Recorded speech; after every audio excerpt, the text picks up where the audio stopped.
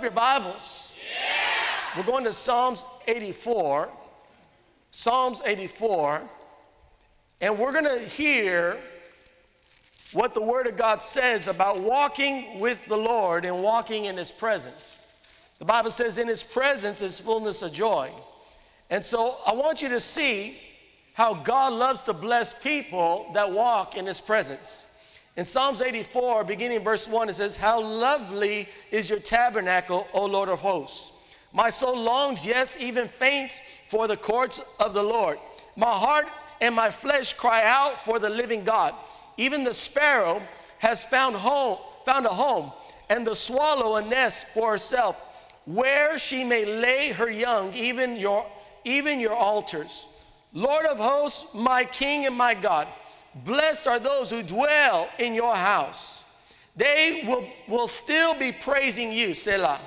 Blessed is a man whose strength is in you, whose heart is set on pilgrimage as they pass through the valley of Boca, of Baca, they make it a spring. The rain also covers it with pools. They go from strength to strength. Everybody say strength to strength. Each one appears before God in Zion. O Lord God of hosts, hear my prayer. Give ear, O God of Jacob, Selah. O God, behold our shield and look upon the face of your anointed. For a day in your courts is better than a thousand. I would rather be a doorkeeper in the house of my God than dwell in the tents of wickedness. For the Lord God is a sun and shield. The Lord will give grace and glory. No good thing will he withhold from those who walk uprightly. O Lord of hosts, blessed is the man who trusts in you. So it's talking about the blessing of just being in his presence. As you are blessed, as you are walking in his, presence, you are, you are being strengthened, you are being increased. The word of God says that you will walk as if you were a river that's giving, that's giving water to, to, to dry land.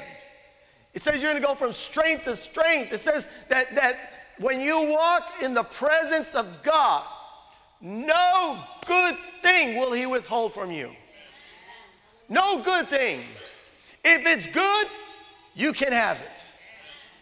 Tell your neighbor that. If it's good, you can have it. Tell the other person, I don't think they, they believe you. If it's good, you can have it. Amen.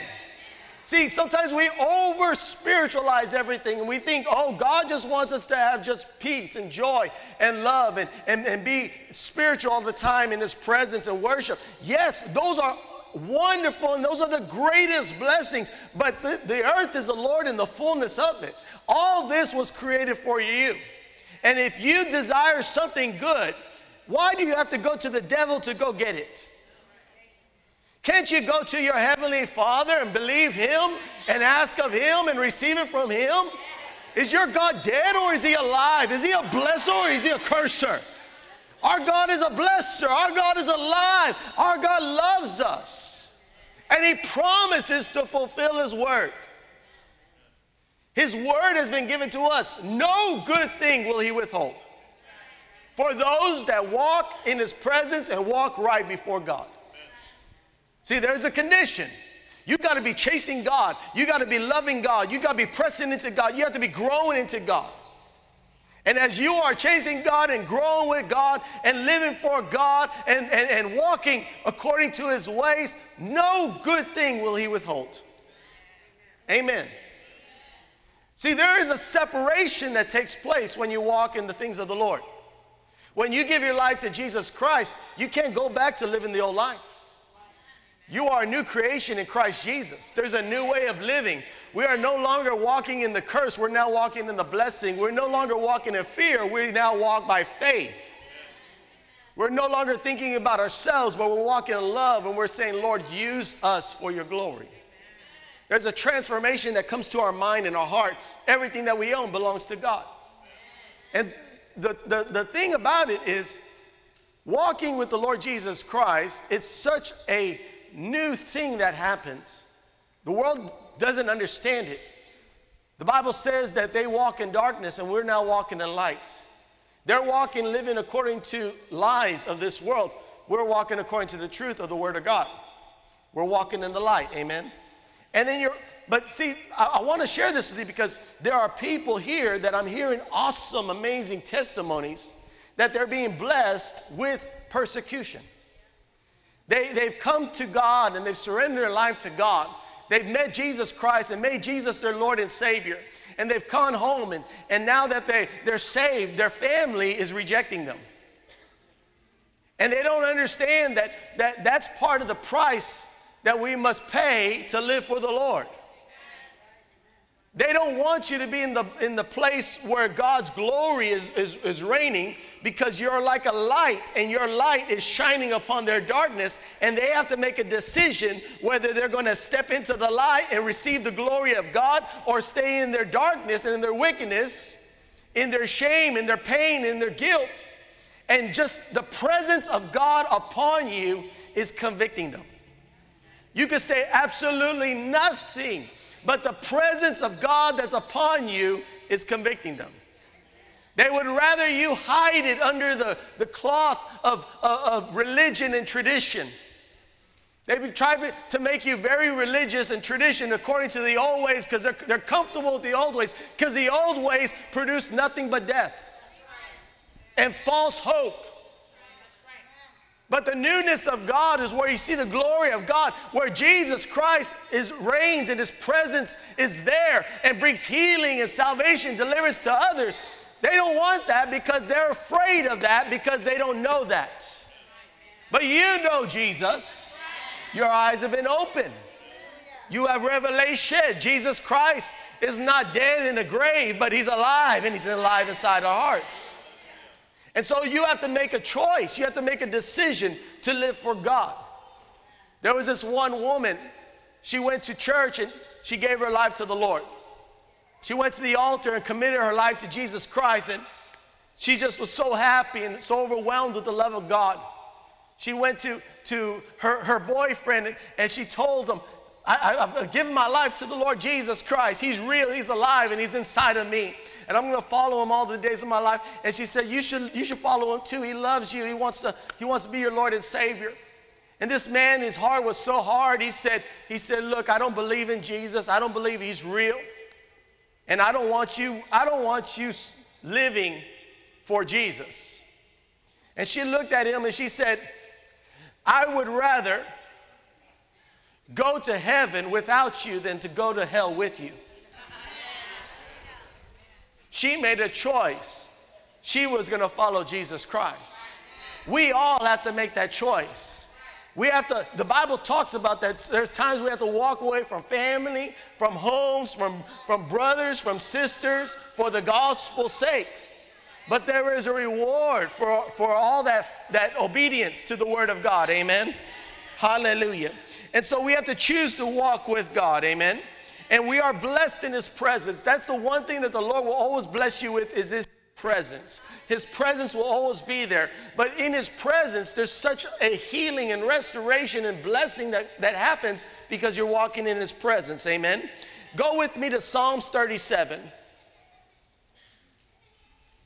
Somebody say, Good things. Again, good things.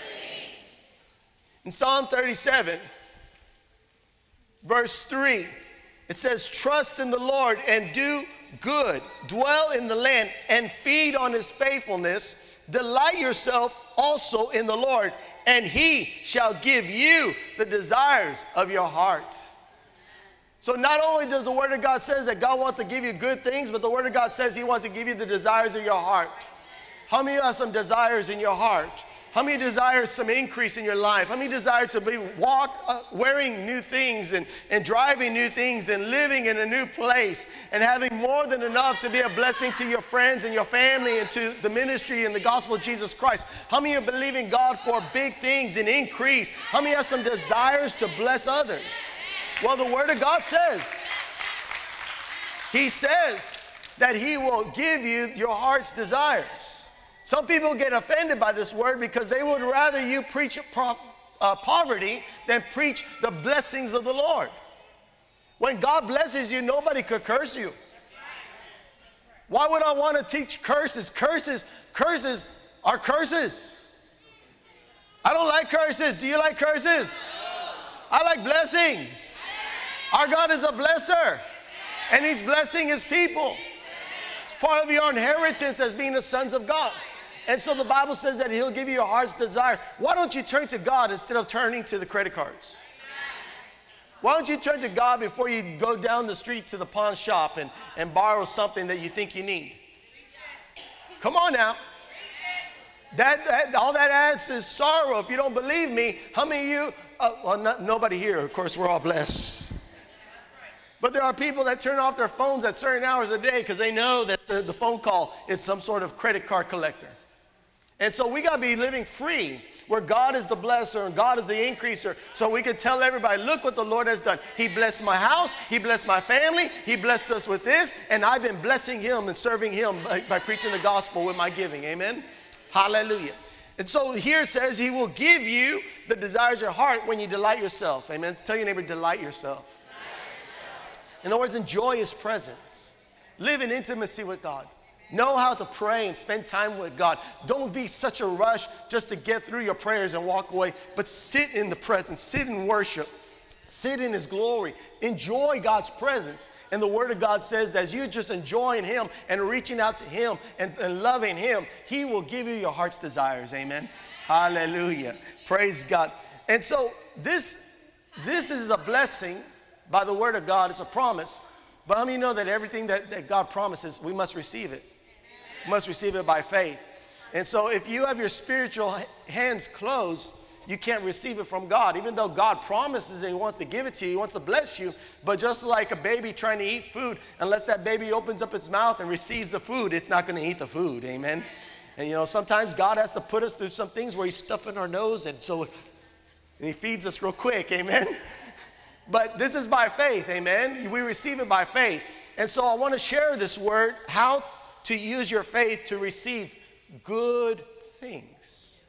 In Mark 11 24, the Word of God says, Therefore I say to you, whatever things you ask when you pray, believe that you receive them and you will have them. Amen. It doesn't give you a might, it doesn't give you a maybe. This is Jesus saying, He said, if you when you pray and you believe that you receive them, you will have them. You will have them. He didn't say it's a might, maybe it might not happen. No, you will, you will, you will, you will. That's his promise through the word of God. That's Jesus' message to you. You will have them if you believe when you ask. Amen. Hallelujah. See, this word, my father, when he, when he, when he stepped out believing God for, for increase, he was living in such poverty, but he had a word from the Lord, and, and he was preaching the gospel with old suits, and he had uh, shoes with holes on the bottom of his shoe. He used to tape a quarter to the bottom of the shoe just to keep the elements out, because the, the, the, bottom of the, the sole had a hole. And he's preaching how God provides, how God blesses. Listen, we might not be there yet, but we're building our faith. Amen. You have to build your faith. And, and so, you know, I encourage you, just act it out until you get there. Amen.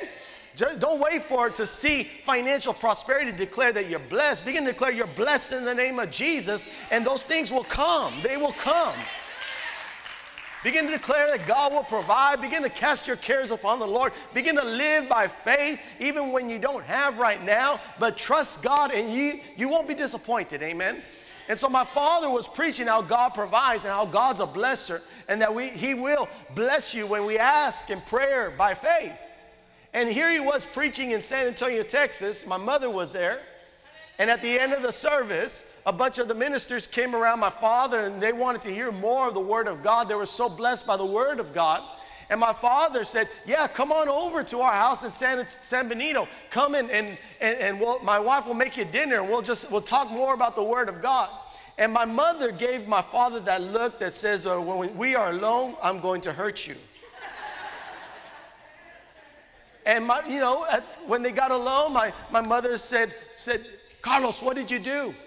You told these men to come over to our house. You just got finished preaching how God provides, how God blesses, and they're going to come to our house. They're going to see the holes in the furniture. They're going to see the, the broken down furniture, the, the holes in the curtain. They're going to see how we live, and they're going to say that, that you are a liar, that you are a fake.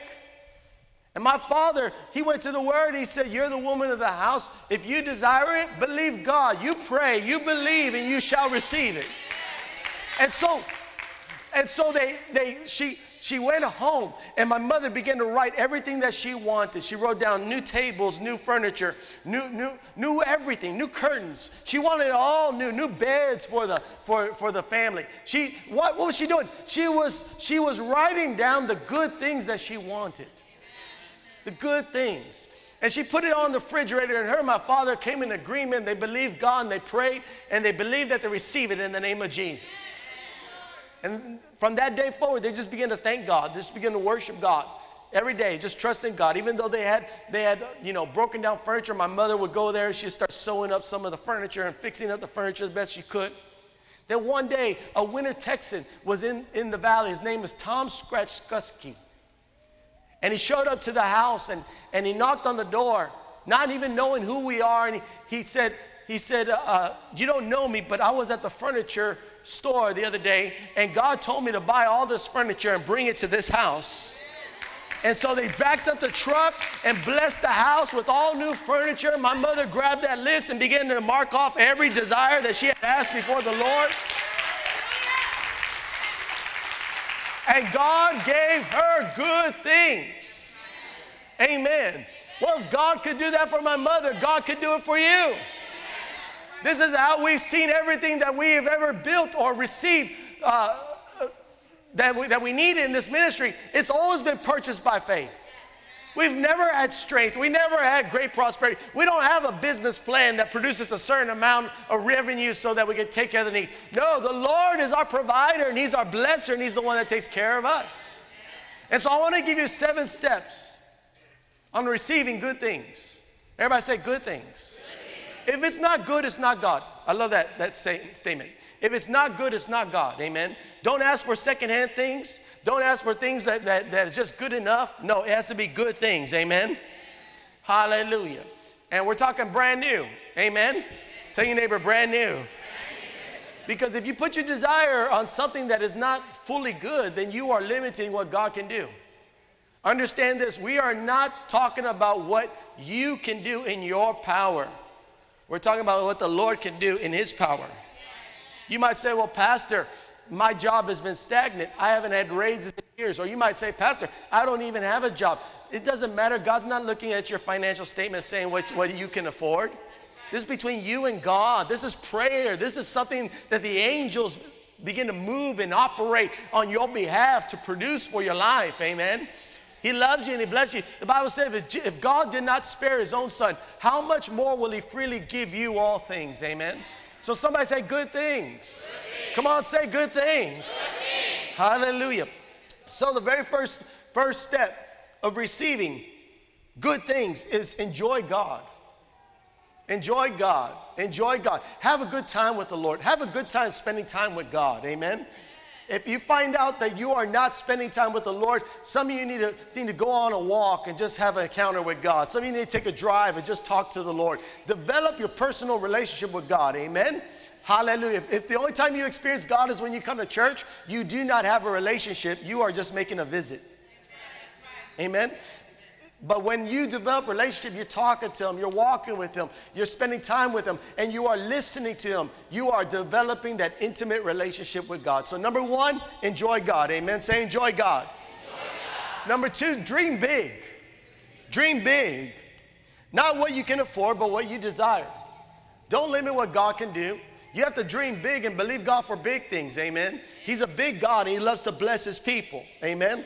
Now, just remember this this is a side note. If you're believing God for big things and you are not prepared to get in there, God's going to have to prepare you. So it's going to take time. Amen. But dream big of what God could do through your life. Amen. Hallelujah. Number three, say three. three. Write it down. Write it down.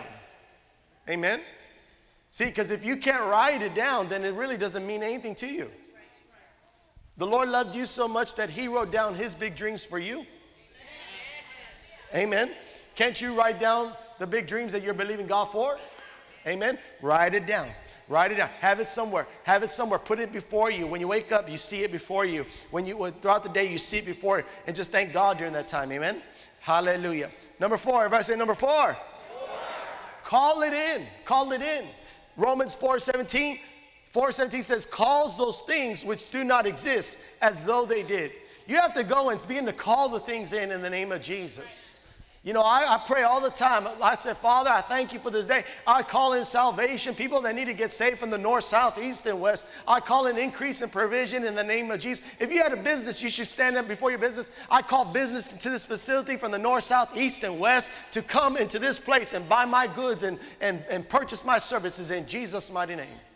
Call it in in the name of Jesus. Call it in. Go, go. If you're believing God for, for a new couch, Father, I thank you that right here is where you are going to bless me with a new couch. I call it in in the name of Jesus. I call that couch done for, paid for in Jesus' name. It's mine in the name of the Lord. I'm calling it in. Amen. Tell your neighbor, call it in. Hallelujah. I know, I know some of you want to text it in and message it in, but no, it doesn't work that way. You got to call it in. Amen. If you can't open your mouth and call it in, then it doesn't move you. It's not going to move God. Amen. Call it in in the name of Jesus. Hallelujah. And number five, prepare yourself to receive it. Prepare yourself to receive it. There are many times we ask things from God, but we're really not expecting to receive it. And so, if you're not making room to receive it, you are not using your faith. You're not expecting to receive it. Amen. If you're believing God for a new car and you don't have a car, go into your garage and sweep it, sweep it, sweep it as if you got the new car already. That, that's where it's going to be in the name of Jesus. Prepare to receive it in the name of Jesus. Hallelujah. Maybe you're believing God that you'll be successful in your planting adventures of, of a new garden. Why don't you go over there and start working the ground, look at it in the name of Jesus. Lord, I thank you. Prepare, you know, get a new basket or something to receive the fruits from it. Amen. Expecting to receive. Amen. You got to expect it. So prepare yourself to receive it. Amen. Hallelujah. Number six, obey. Obey. Bible says faith without works is dead. The word of God says that, that the Spirit of God is the one that leads us. And he'll tell you and he'll speak to you about doing certain things. You got to be obedient. You have to be obedient. There's times the Lord will tell you to sow a seed. There's times the Lord will say to pray a prayer, to speak to somebody or do something. You know, don't you understand that God knows the door that needs to be opened over your life? And there are many times He'll take you to a place and say, Talk to that person. And you'll say, Well, I'm too embarrassed, God. I can't really talk to him. No, you have to be obedient. So when you show up, follow the Lord. Amen. Hallelujah. And number seven, everybody say number seven. The number seven is wait for it. Pastor, I asked for God to bless me last week and it still hasn't happened. What are you going to do about it? It has absolutely nothing to do with me. I am not your God. He is your God. You got to wait for it. Don't get, don't, when you're waiting, don't let it change you. Don't, don't let it, don't let, don't come out of faith because you're impatient. Faith and patience, they work together. Pastor, I've been praying for a year to be healed. Well, you're still alive? Yes. Keep praying. Keep believing. Keep confessing, I'm healed in the name of Jesus. But, Pastor, what if I don't get healed? Ah, shh. What if you do? Amen.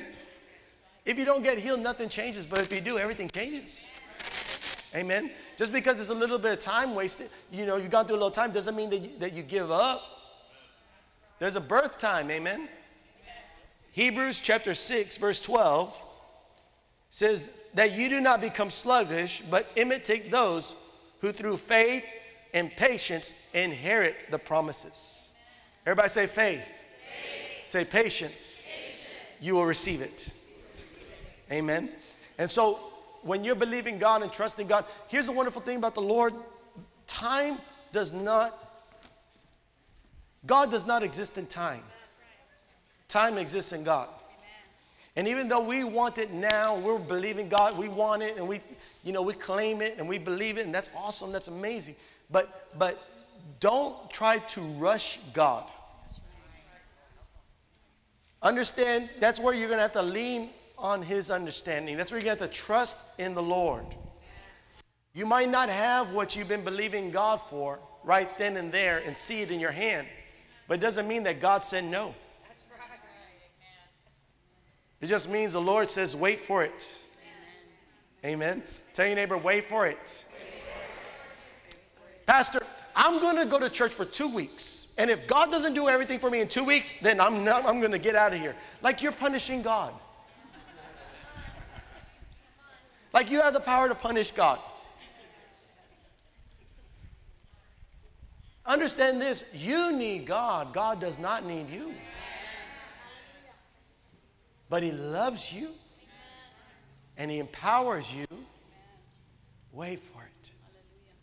Some of you all are believing for some really big things. And it's on its way. They're on their way. The angels are coming with them. I'm telling you, they're on their way.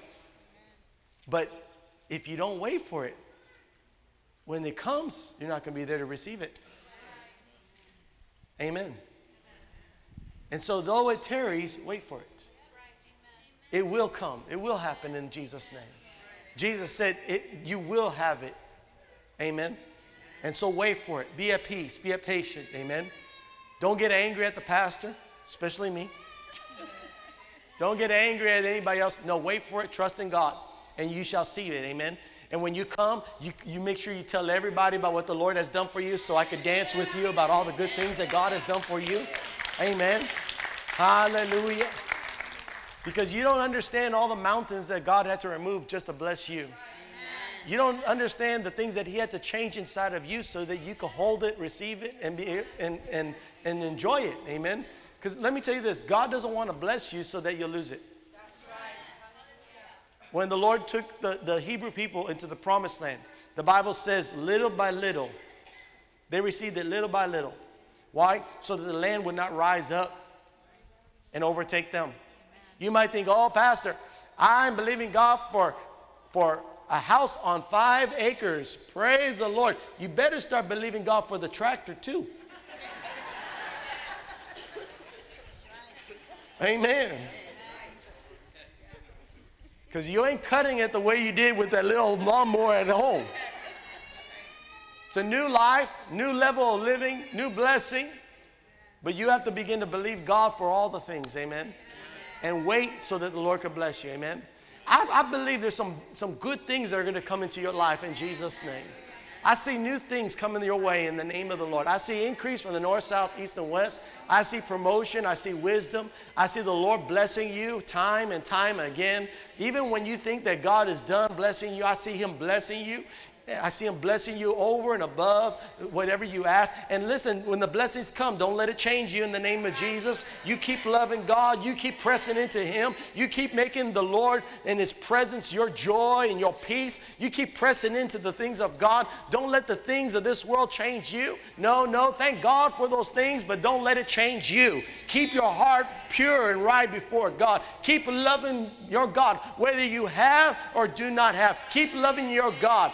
Just because God bless you doesn't give you permission to change your attitude, attitude towards Him. You love Him, you love Him, you love Him, you love Him. You delight yourself in the Lord, and He will give you the desires of your heart. Amen. How many y'all receive that word today? Hallelujah.